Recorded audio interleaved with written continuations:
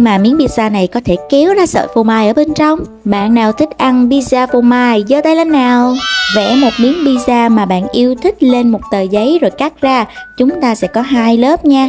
Rồi tiếp theo là phần phô mai ở bên trong. Bữa nay tôi không đủ màu tô cho nên miếng pizza nhìn nó không được thật cho lắm. Nhưng cuối cùng cũng hoàn thành rồi nè.